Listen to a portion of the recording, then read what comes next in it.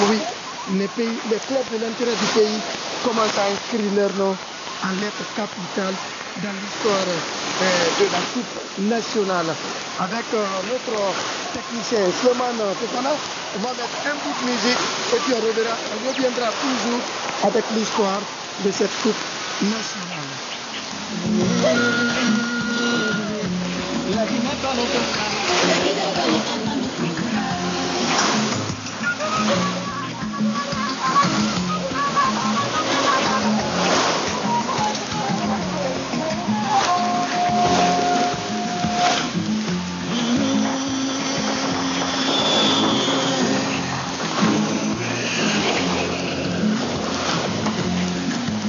I'm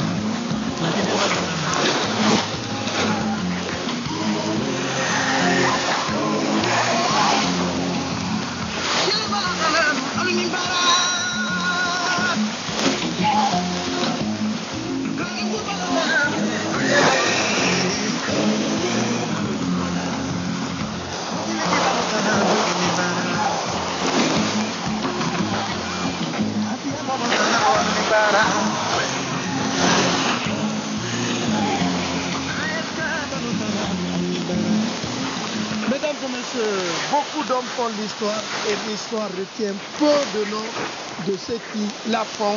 Et c'est pourquoi nous sommes en train de dérouler l'histoire de la Coupe nationale. En 84, je le disais, les événements politiques intervenus en Guinée ont mis fin à l'existence de la Coupe PDG, Parti euh, démocratique de Guinée, Parti État de Guinée pour les nostalgiques. Et puis en 85, la compétition a changé de nom. Elle a pris le nom de Coupe nationale.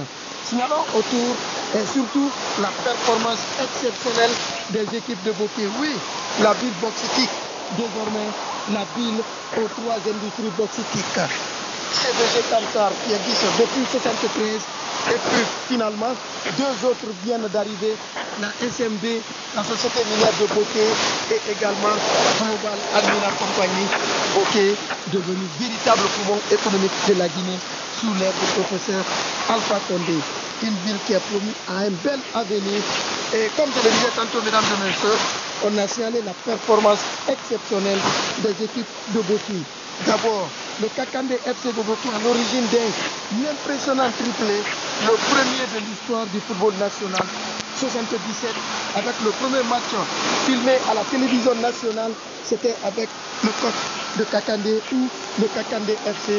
Et finalement, avec le temps, les noms ont changé, mais toujours est-il que le radical, c'est Kakande. Oui, c'est la ville de Dina Salifou et comme vous le savez, et puis le pays des Landouma, le pays des Soussous, le pays des Boussas.